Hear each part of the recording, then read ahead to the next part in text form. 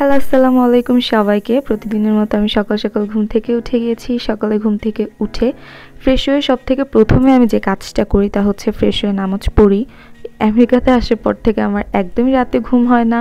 এই জন্য ভোরবেলার দিকে যদি একটু ঘুম হয় এই জন্য আমি ফজরে উঠতে পারি না।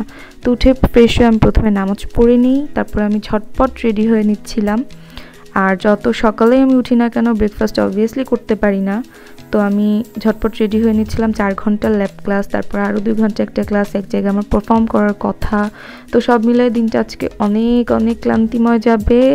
তো ওইটাই আমি চিন্তা করছিলাম। রেডি হওয়ার পরে আমার মুখে আসলে একটা মশা কামড় দিয়েছিল, মশা কামড় দিলে এরকম পিম্পলের মতো হয়। তো ওটাই দেখছিলাম হ্যাঁ আমেরিকা মশা আসতে তারপরে ব্রেকফাস্টের জন্য অ্যাপেল চিপস কেক এগুলো নিয়ে নিলাম, এগুলো আমার খুবই পছন্দ। তারপরে রওনা দিয়ে দিলাম।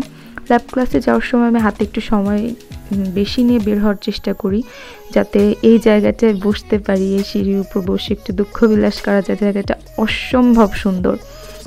তো এখানে বসে আমি একটা কেক খেয়ে নিলাম। কেক খেয়ে নেওয়ার পরে আমি ল্যাব ক্লাসের জন্য চলে গেলাম। এখানে ব্যাগপত্র সব জমা রেখে আমি মোজা তারপরে হচ্ছে অ্যাপ্রন এগুলো পরার জন্য চলে গেলাম, প্রস্তুতি নেওয়ার জন্য ল্যাব ক্লাসে তা আমি আমার পছন্দের মোজা পরে, আর যখন রেখে যাই আসলে সবসময় ওগুলো ক্লিন হয় ইউজের পরে।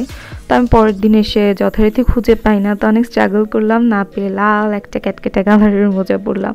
তারপরে এখানে অ্যাপ্রন নিয়ে স্ট্রাগল করছি।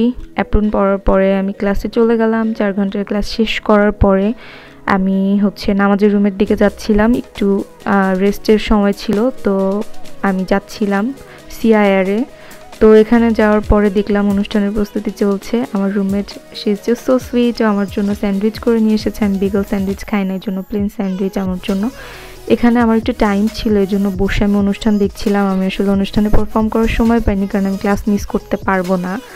সম্ভব না আসলে, এই জন্য পারফর্ম করতে পারিনি। আমার ক্লাস ছিল সেই সময়। এখানে বসে দেখছিলাম দুইটা ফ্রেন্ড খুব চেয়ার করছে নিজেদের ফ্রেন্ডকে আমার আসে ইউনিভার্সিটিতে পড়াকালীন সময় আমার ফ্রেন্ডের কথা মনে পড়ে গেল। যখনই আমি পারফর্ম করতাম, ওরা পারফর্ম করতো, যতই কাজ থাকুক না কেন, আমরা দৌড়ে এসে নাচ, গান করে কি পরিমাণ চেয়ার করতাম ডু মিস মালা তারপরে সব কিছু শেষ করে রাতে বাসায় চলে আসলাম।